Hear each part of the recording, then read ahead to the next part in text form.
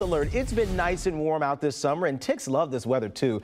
That's a huge problem, though, because they can carry bacterial diseases like Lyme disease. Alex Almanza joins us to talk about all this. So let me get this straight, Alex. Tick season is expected to last longer this year, but experts, they're telling you there's actually a decrease in Lyme disease cases, right? Yeah, experts say southwest Michigan is a perfect home for ticks because of the sandy and moist soil. But despite the downtick in Lyme and other bacterial cases, health experts saying prevention is key. You may not see them with the naked eye, but these little bugs might turn your afternoon walk into a headache, maybe even tick you off. It's summer, and with warm and sometimes moist conditions, tick season is upon us. The issue?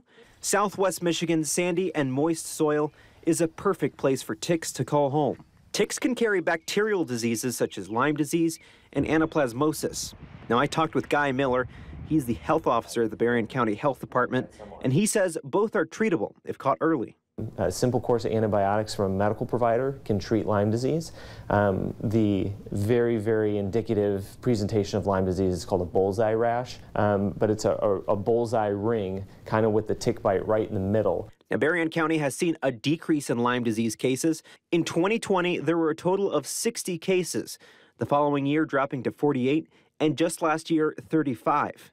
Now, in 2023, a total of 17 cases have been reported so far. It, it's a little bit troublesome because we know we have a lot of people who come here from out of town.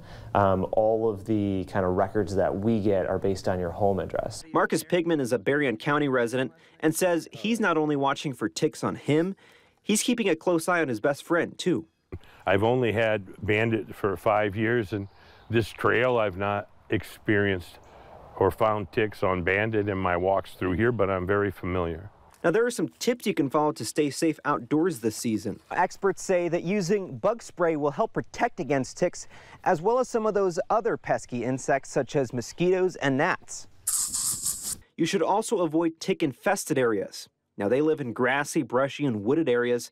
You want to avoid walking off path into tall grass and weeds. Now, you also want to perform daily tick checks after being outdoors and after getting home, you should bathe or shower to rinse off. Now, in general, ticks need to be attached for 36 to 48 hours before they transmit Lyme disease. Now, dog ticks can transmit Rocky Mountain spotted fever, while the Lone Star tick can transmit alpha-gal syndrome or red meat allergy. Important information. Alex Almanza, replace the camera. Thank you for that report. We appreciate it. Spraying the camera there. Good stuff. Hey, new information tonight.